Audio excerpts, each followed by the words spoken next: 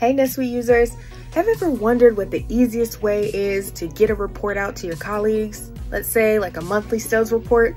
Well, I have a tool for you. Let me show you. Go ahead and navigate to your reports dashboard or locate the report that you want to send out from your reports menu. On your report, make sure that you have a date range selected with a filter.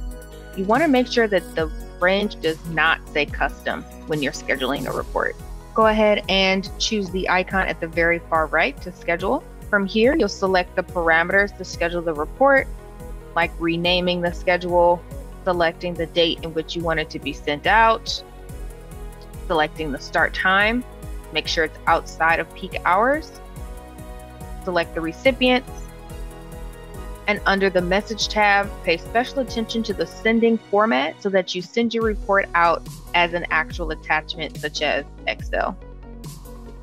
And save. Now your recipients are going to be receiving your sales by customer report every month. Well, now you know. You're welcome.